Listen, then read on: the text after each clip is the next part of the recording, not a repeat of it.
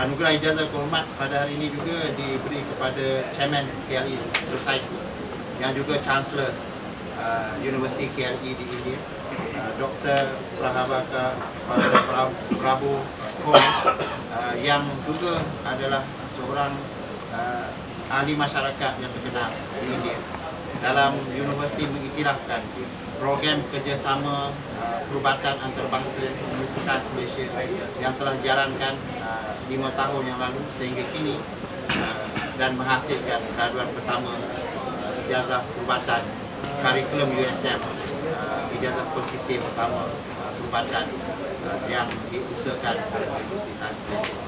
Uh, Dr. Prabhakore uh, seperti yang saya maklumkan tadi uh, mempunyai uh, dalam mempengurusikan KLE Society ini iaitu uh, satu gerakan uh, pendidikan uh, bercorak masyarakat.